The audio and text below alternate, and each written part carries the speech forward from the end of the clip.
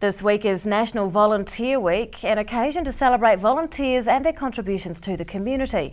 In Dunedin, volunteer efforts are coordinated through Volunteering Otago, and manager Anna Clere joins us to discuss the work they do year round. Good evening. Good evening. What's happening here for Volunteer Week? Um, so there are lots of things happening. Lots of organisations are celebrating by thanking their volunteers or hosting like afternoon teas or dinners or events like that.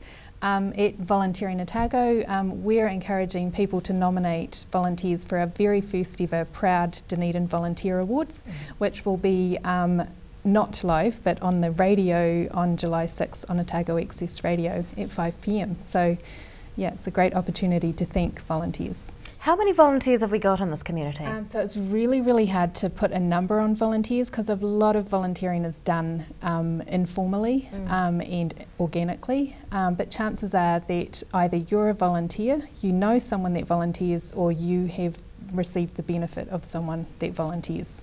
Is there a need for more people to volunteer? Always.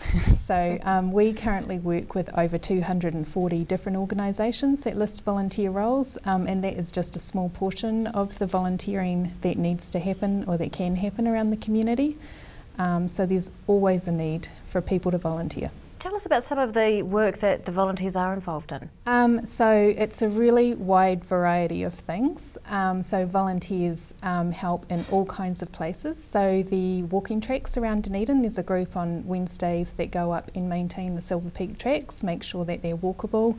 Um, they go rain or shine. Um, there's volunteers that rescue animals um, from that are abandoned or dangerous um, that work with SPCA and Dog Rescue Dunedin. There's volunteers that um, help pick up rubbish off streets. There's volunteers that take library books to people that are housebound. Um, there's volunteers that um, deliver meals on wheels, um, volunteers that help in kitchens doing cooking, mm. Um, all kinds of things. you name it, you can probably do it and volunteer. How important is that work to the community? Um, so community is defined by volunteers, and without volunteers, there probably is no community. Um, I know um, if volunteers stopped doing the things that they do, our country would come to a standstill within a couple of days. Yeah. What sort of significant projects are volunteers involved with?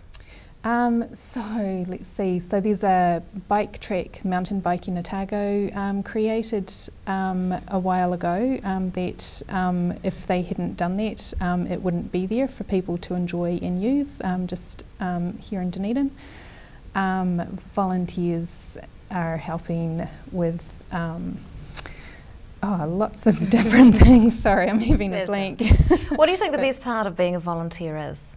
Oh, um, that's um, there's so many different things. It depends on who you are and um, what you value and what you get out. Um, I think um, for a lot of people, the best part is just feeling useful and connected to the community um, and being able to do something um, for both themselves and for others. Mm. How can people become involved in volunteer work in this town? Um, so there's lots of different ways, but definitely um, contact Volunteering Otago. Um, so you can reach us um, on our website mm -hmm. www.volunteeringotago.org.nz. Um, you can call us on 03471 6171 or 6206 and you can um, visit us at uh, Dunedin Community House. We're on level one. Um, just come on in and up the stairs, and we'll be happy to sit down and chat with you about the different volunteering roles that you can do.